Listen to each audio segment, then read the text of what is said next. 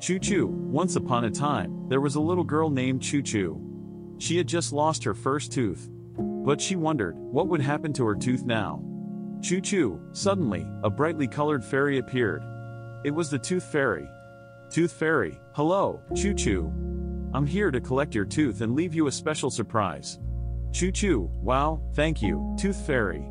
Tooth Fairy, but ChuChu, do you know how important it is to take care of your teeth? ChuChu, of course, Tooth Fairy. Brushing my teeth is important for strong and healthy teeth.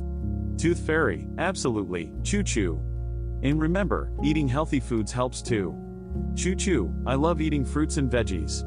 They make my teeth happy and strong. Tooth Fairy, that's right, ChuChu. And don't forget to visit the dentist regularly as well. ChuChu, the dentist keeps my teeth shiny and clean. I'm not afraid anymore. Tooth Fairy, ChuChu, you've learned so well. By building these healthy habits, you are taking care of your teeth and making the Tooth Fairy very happy. ChuChu, I'm glad, Tooth Fairy. I want to keep my teeth healthy forever. ChuChu, thank you, Tooth Fairy, for teaching me about good dental habits. Tooth Fairy, you're welcome, ChuChu. Sweet dreams, and remember to keep those healthy habits. ChuChu, good night, Tooth Fairy. Good night, everyone. Text, thanks for watching and don't forget to subscribe to our channel. Text, subscribe for more delightful bedtime stories and building healthy habits videos.